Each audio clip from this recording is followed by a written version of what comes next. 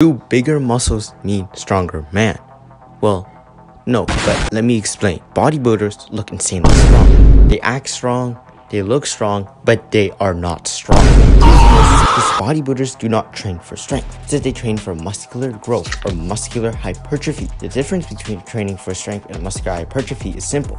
Muscular hypertrophy is when you try to break down each individual muscle fibers in said muscle in order to enact growth. However, strength is more dependent on the neuromuscular component, meaning your brain's ability to send signals to the muscle. And this is accomplished with maximum load with low reps in the strength building rep range and with longer rest periods. And when you take account for relative strength, a lot of bodybuilders are actually a lot weaker than you expect them to be. Strength is correlated with body weight. So bodybuilders who weigh 200 plus pounds should be insanely strong, right? Let's take CBum for example. Chris Bumstead has been training for over a decade, and as a trained athlete, he should be able to comfortably bench two times his body weight for reps. And since CBum weighs 230 to 260 pounds, he should be able to bench over 400 pounds. However, from sources I found online, it stated that he could only bench 285 pounds for reps. Yes, this is pretty impressive, but for his body weight, it's kind of sad. Muscles are like engines. The more engines you have, the more potential energy you have. Bodybuilders have a ton of engines. However, majority of their engines don't work. They don't function properly, instead it weighs them down. That's why bodybuilders can look really strong, but they aren't actually really strong. Because their muscles as engines don't work or function properly, it's going to be dead weight because muscle is still body weight. So instead, it just slows them down. So how can a bodybuilder train for strength? And can a bodybuilder use his ridiculous, excessive amount of muscle for strength? This theory will explain can the bodybuilder's excessive amount of steroid muscles help him achieve superhuman strength? And is this even feasible? Firstly, the science. Do bigger muscles mean more strength? Well, obviously stated before, no, because training for strength and training for hypertrophy are completely different. However, there is a theory. The more muscles you have, the more per se engines you have in your body. And if you activate all those engines, the more power you can output. Because strength is more reliant on a neuromuscular component or your brain's ability to send signals to the muscle.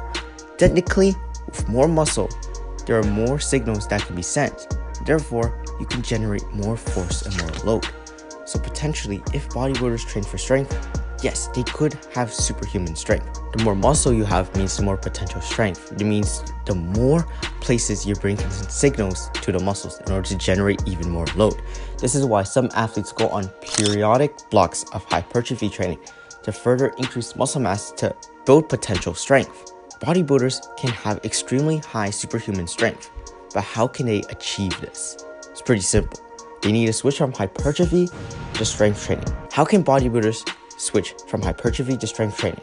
Well, it's pretty simple. They just need to adopt strength training. First thing they need to do is the rep range. The hypertrophy rep range starts at 6 to 12. This is the most common hypertrophy rep range used. However, to build strength, you must lift heavier weights with a lower rep range. Bodybuilders need to increase the weight they're comfortable with and lift under 5 reps, 5 reps being the maximum. To train your central nervous system, you need to increase the amount of load and lower the reps. After doing this, you still need to train intensely, close to muscular failure. However, I wouldn't recommend you go past it, or it'll create even more fatigue that will wear you down for your next set. Afterwards, you need to take long rest periods. For hypertrophy, most bodybuilders rest between 30 seconds to 2 minutes. This is too little. In order for strength training, you need to rest 3 to 5 minutes at max.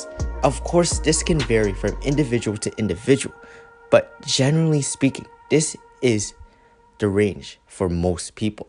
The reason is because you want to perform at 100% for each set. Unlike hypertrophy, where you want to break down muscle fibers, in order to build strength, you must perform well.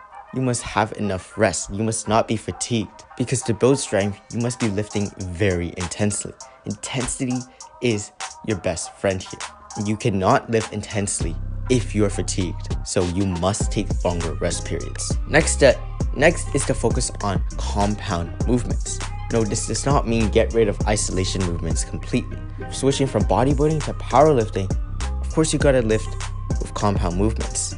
Start your workouts with major compound movements that you're prioritizing. For example, weighted pull ups, weighted dips, or maybe the squat, overhead press, bench press, deadlift, whatever it is that you want to prioritize on that specific day, you must start off with it. If you don't, and you start off with something else, then you're going to be fatigued and you won't be able to perform at 100% capacity for that specific exercise that you are prioritizing. Most compound movements require the stability and strength needed to build strength in strength training. And these exercises are what challenge your body and your central and your central nervous system the most.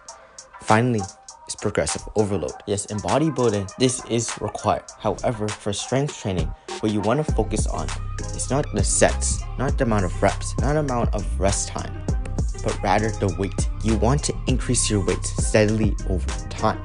If you switch from bodybuilding to strength training, you're going to see astronomical strength gains in a short amount of time, despite being an intermediate or even an advanced lifter. But note that this spike in strength will only last so long.